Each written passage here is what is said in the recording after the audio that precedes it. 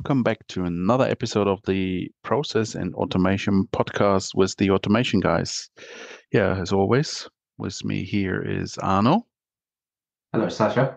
Hi, Arno. So, and yeah, together we will discuss low code business process management, not more process management, process automation today. And um, yeah, and we'll look at it and, and see why it is um, very important for businesses to to look closer closer to and what what the benefits are.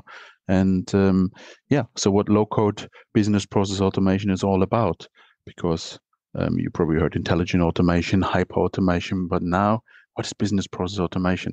Uh, it's nothing really new but um, i think we start talking differently about all these automation uh, technologies tools areas um, uh, from time to time. So you will see that low code business process automation more and more going forward.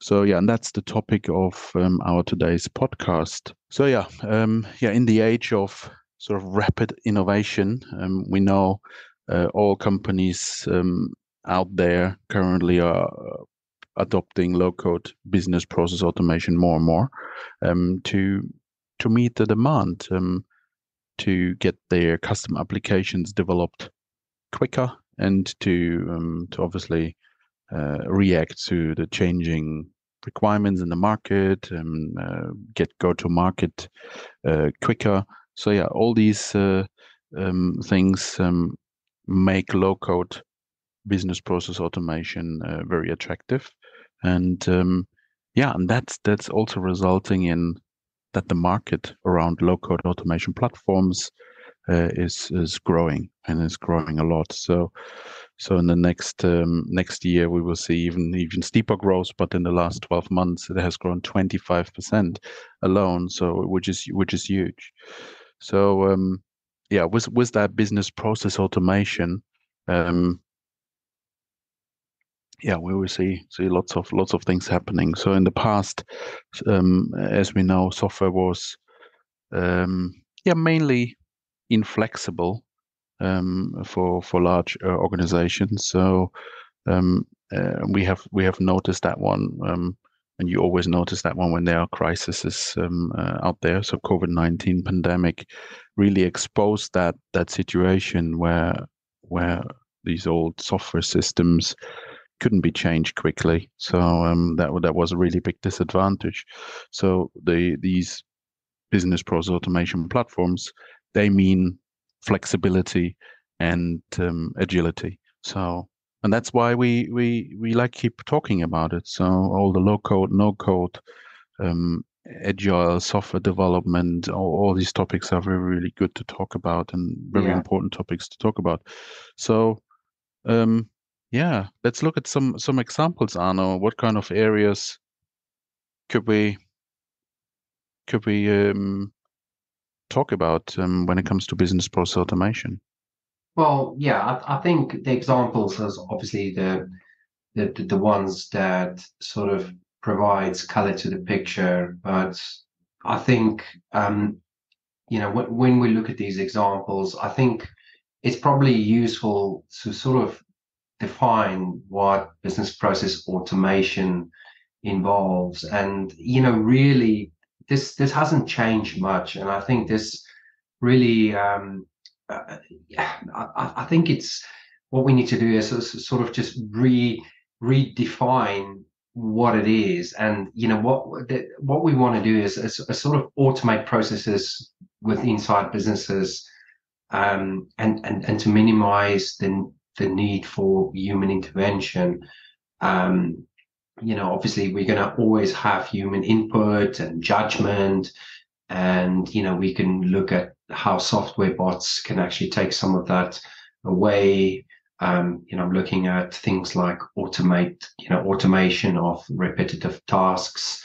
Um, so, so, so, so, these are sort of, you know, from a business process automation perspective, um, you know, if you look at the whole package, this, you know, it, it, it's it, it, it's it's it's what we want to achieve with inside, you know, that that that sort of the, the outcomes of that.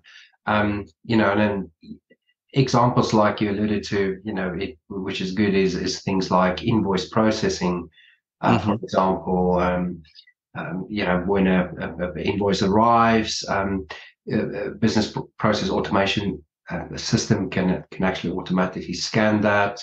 Um, it could validate that, make sure the invoice is valid, it's got a valid purchase order, and then you know route that for approval. Um, and again, this sort of eliminates the the, the the, the need for sort of manual intervention, manual data entry, and it sort of speeds up the whole sort of payment process. Um, you know, for your invoice uh, processing process. Um, another one, and again, you know, we've touched on this one in in several podcasts in the past, is employee onboarding. And again, if you apply business process automation, you can streamline your onboarding process by automating the creation um, of um, user accounts, provisioning access to the various systems, um, you know, sending out of welcome emails to mm. new buyers. So, so all of the elements that you think in in in that sort of employee onboarding process, you can automate that using BPA or business process yeah. automation. And such then things like yeah, such an important topic these days with all the um, crisis finding finding employees, isn't it? Onboarding has to be spot on. Yeah. Yeah, exactly. And and, and I, I think that's important because that's such a a process that leans itself to sort of a rinse and repeat type. Uh-huh. Let's automate it. Let's sort of um, get that digitized. Um, and you know, low code business process automation is perfect for that sort of scenario because it, it is sort of something that's predictable. Um, you know, it's it's it's not something that um, changes every day. Um, it's perfectly orchestrated by by using a low code workflow platform, for example. Um, you know, so again, a very very good sort of um, candidate for for automation. Um, you know, if if you're new to BPA, I, you know, I, I, think it's becoming quite mainstream. And um, if you're still looking for scenarios or use cases, you know, with inside HR, I think onboarding is definitely a, a good candidate. And then you you know, customer facing, you're looking at something like um, customer uh, support ticket routing. And again, these are things like instead of um, manually assigning support tickets to different agents, um, business process automation can apply intelligence and, and route them on, on various factors like, you know, what's the issue, what's the customer priority, agent availability, you know, and these sort of factors. Um, inventory management as well. So, for instance, a BPA can track inventory levels and in real time and, and sort of uh, trigger reordering of stock um, mm. and you know to, to, to reach a, a predefined thresholds. Um, also, things like data entry and data validation. Of course, you know there's a lot of data um, that we capture these days, um, especially sort of um, uh, areas like finance and healthcare. And when you apply business process automation, you know you can automate these data entry tasks um, using robotic process automation. And again, you know you're going to redu- reduce the, the, the number of errors that um, you have with inside these activities, and that, and that ultimately ensures uh, data accuracy. Um, so, so, so these are sort of just a, a few examples of, of where you can, uh, as, you know, apply business process automation. Um, you know, and again, the benefits of these, uh, you know, of the application of this is, is quite numerous. But you know, you look at sort of data accuracy, um, completion of um, processes uh, with you know with inside SLA. So, so the you know customer retention, things like this mm. is, is natural things that that falls out of um, you know the, the, the sort of application of automated processes. Mm-hmm. Yeah, no, there's so many. Yeah, basically every everything what what the company is doing, um, uh, yeah, is a process, right? So when you when you look around these processes, you find plenty of of areas, high volume, um, maybe not high volume, but quite complex, but you still want to make sure it runs really, really safely end to end. So really, really, pretty much everything what happens in the business um, you can um, look at, uh, or you should look at anyway, and and find things um, which can be automated. Um, and yeah, there's there's one one quote, isn't it? I don't actually don't know who said that, but um, was like um, yeah you you should automate what can be automated, isn't it? So um, and that uh, I think that's uh, that's that's important. And yeah, with business process automation, yeah, plenty plenty of uh, um, things to do. And uh, yeah, with low code and no code, um, yeah, you can you can get there much much faster, sort of twenty times faster than sort of doing doing it um, sort of the old old way, opening up your coding coding environment and, and get get going. But even that these days is much quicker than than it was when when we started Arno. Yeah, yeah, exactly. And things like low code platforms is is used these days to implement business process automation, and again, it unlocks sort of sort of immense potential. Um, especially sort of integrating with, with with complicated new technologies like AI, um, you know, mm. integrating that all into digital workflows.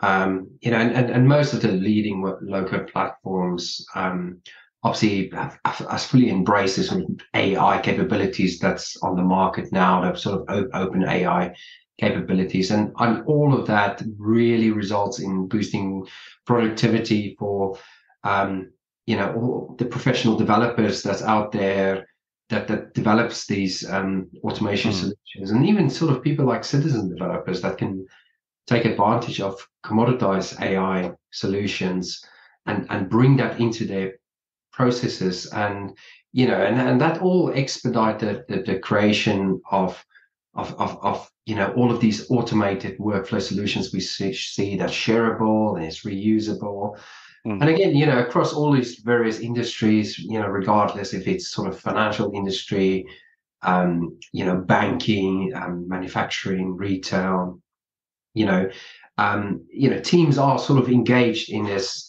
and in, this sort of this, the, the, the process of all of the change management to align themselves more with, uh, you know, business process automation, digital process automation, to to ensure that you know their digital transformation projects are, are, are, really successful and and and it sort of it, it works with the, with the progressive uh, technologies out there.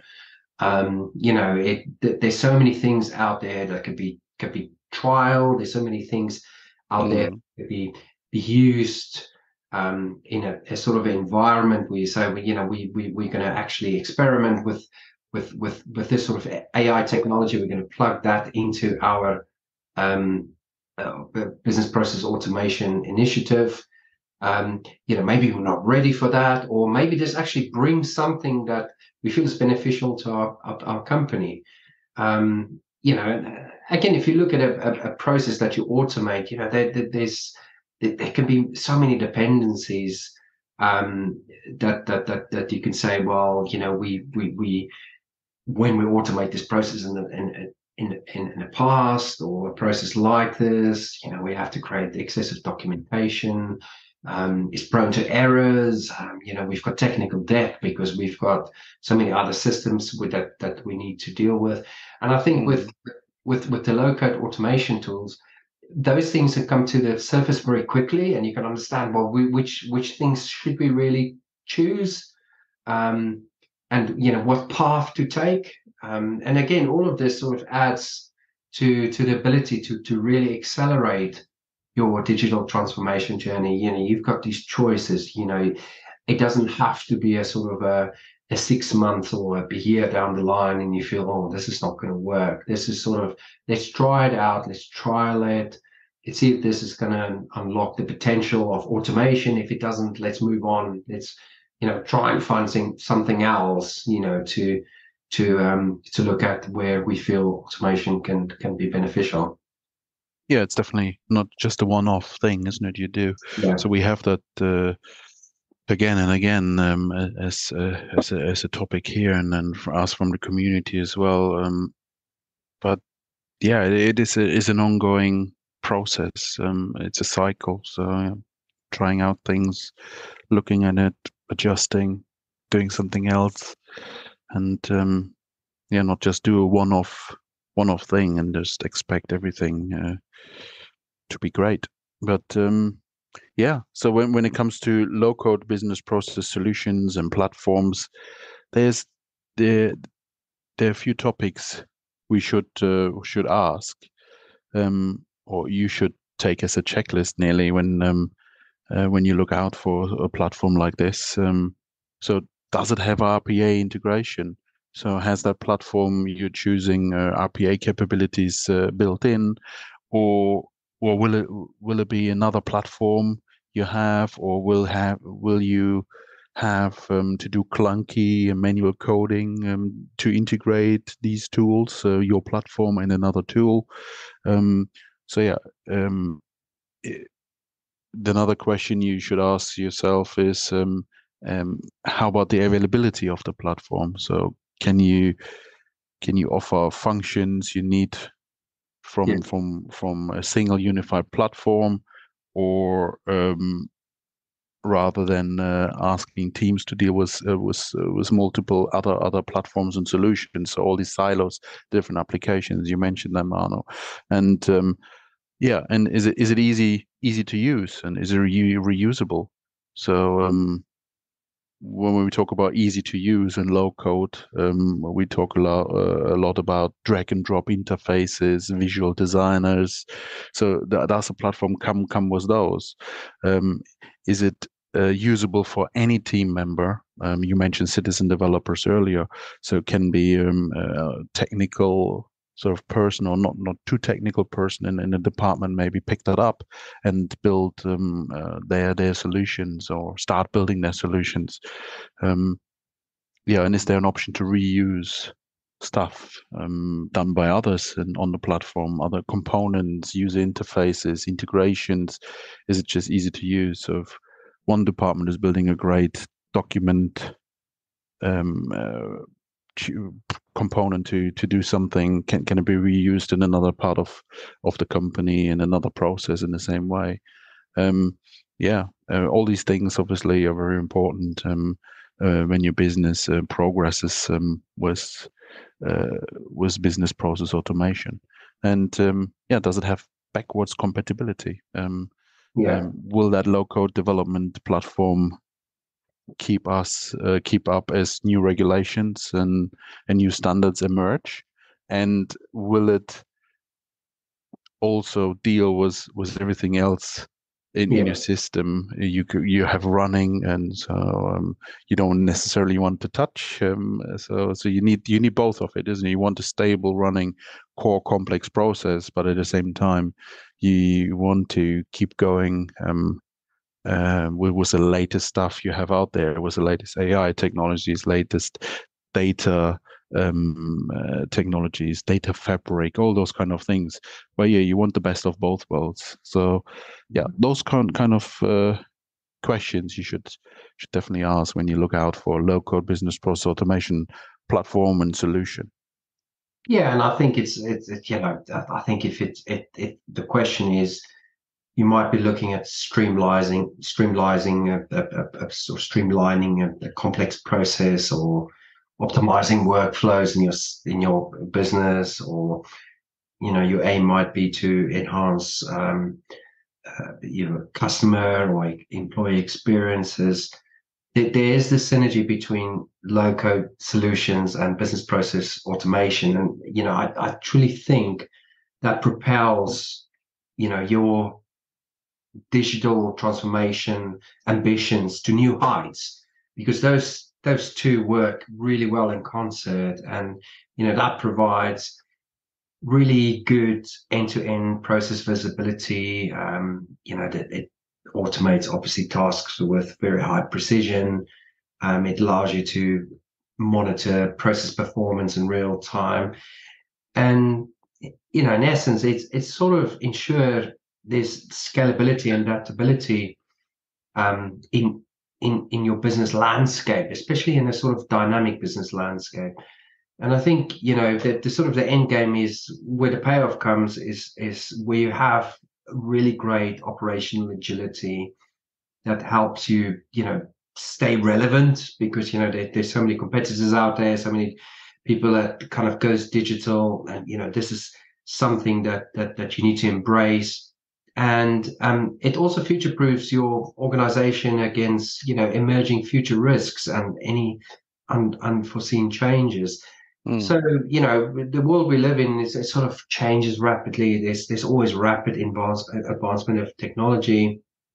Um, you know, digital innovation is out there. Uh, there's so many choices, um, and and all of this it can be sort of an existential challenge. So you know, it, it's imperative that if if you look at sort of the future next year, beyond that, you you want to sort of harness the the, the, the power of, of, of, of low code business process automation. And again, what we mean by that is that you can automate business processes without running to IT departments to actually um, implement those those those uh, automations. You could really mm-hmm. leverage low code or rapid application development technologies to um, to automate these processes and you know that's that's what it's all about you know it's all about um you know rapid application development sort of being able to to, to push out these automations very quickly um to where it matters and to be able to change it very quickly um if it needs to you know changing business conditions and and, and things like that. Um, mm. and that's that's what this is all about you know it's all it's about that sort of agility to to do these sort of things um, you know without having to wait a very long time to discover well IT can't do this because they've got a six month backlog of development.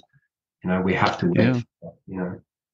And and it's crazy out there so still still plenty of companies out there with uh, uh, with, with spreadsheets um, um, so with invoice processes not being fully automated or not even 25% automated, just dealing with spreadsheets and emails on a daily basis. So, well, of course, in these bigger companies, um, th- this is what they hear, isn't it? Uh, day in, day out. Um, yeah, you have to keep going with your with your really bad yeah, you could say shitty, shitty way of working, uh, because that's what it is. Um, because the IT department has no resources and there are other priorities, and um, yeah, so there's no budget and um, those kind of things. Um, but it needs that strategic approach going into 2024. Yeah. See, okay. Yeah. And, and the honest honest view on, on on the on the value of a platform like this what it does does it bring and and we can see once it's established um, and uh, projects starting first small and then growing, everyone gets it, and then and there is the proof um, um, in in in in these departments that that it really had an impact. Yeah. Um, 70% increase of processing times or um, you, oh, savings in, in, in the six figures, seven figures uh, in, for some companies, and reducing processing um, from from weeks to days and that kind of stuff. So it's it's really real big big change when when these things are implemented. It doesn't need to be like the craziest process within the company, yeah. but um, when it produces value and, and, enough value, everyone should have a platform like this um, and get everyone on it. Um, it's just incredible what the results are. Yeah, yeah. Yeah. yeah, I think you know what we see um, is there is this. Um, we sometimes challenge, you know, with with low code automation. You know, what what is possible using those technologies versus sort of conventional high code technologies, and you know, the platforms out there are quite sophisticated in that you know it's it it solve and we can solve so many normal business um, needs. Mm. So, you know, we, we're looking at case management systems that's got specifics around verticals with inside insurance. And, you know, I look at sort of 10 years ago, look at platforms would would not be able to do that because there's such bespoke um, elements in in those types of requirements that needs to be implemented. But these days, the platforms are so sophisticated that you know, regardless if you look at those requirements and you pass that to a you know developer that does low code solutions versus a developer does conventional kind of solutions both of those can solve the problems, but again with low code, that kind of it's like seventy percent quicker. Because, Absolutely, yeah. You know, and and it's almost like a no-brainer in terms of getting that solution out, getting that solution into the business, getting that live versus waiting, you know, potentially 70% longer for that. Um, so the the level of sophistication in these platforms are so so high. Um, you know, it, we kind of get to a point where it's sort of it's on parity with what you can achieve with with high code. So we're hmm. almost at a point where it sort of it makes that obsolete. Now, I'm not saying that high code developments is going to disappear. I think that there's a place for that. But if you look purely speaking from a, a business solution, you know, I need this process, I wanted to do this, it needs to follow these steps. That's what I need to do in order to satisfy my customers. These code platforms are perfect for that. Know, there's no mm. need to actually code that with conventional coding and um, you know spend 70% more on that you know rather use that 70% that you've got in there to actually refine that process and actually change it or in, in, you know introduce the almost the agility in that process um, to to evolve it into what it actually should be. Um, mm. so it's, it's, it's these incredible things that I see day in and day out, and I'm thinking, with this sort of low code business process automation type solutions, um, you know, the version one, week one might look like this. Two weeks later, it's totally pivoted away because somebody is sort of um, got a new idea or mm. they've, they've realized there's a new um, compliance issue that they need to deal with. And all of that can be sort of um, implemented so fast and so quickly. And, you know, I think that's why it's really exciting. And then you know, you couple this with all of the progressive things like the AI mm-hmm. that's coming through. Um, you know, it's it's it's really really exciting times to to to to sort of um, use these technologies and and and and, and really uh, sort of bring them into businesses. Yeah, definitely. Yeah. So um, yeah, low code business process automation yeah has lots of uh, power to to fix uh, plenty of problems within businesses. Um, obviously, not all problems are technical of technical nature, but um, uh, or can be solved technically. But um, if they can, I guess uh, BPA will be will be uh, a strong strong uh, tool to to get in uh, next year. Or if you're already working on this, that's great. Um, do more with it. Um, it definitely will be exciting to see all the results. So um, yeah, so we we are here on the podcast um, um, with another episode very very soon. I hope this episode was um, insightful. Um, if you like the episode, uh, please give us a five star review on on the platform wherever you listen to this podcast. And um, yeah, we, we will be back very soon. And until then, let's automate it.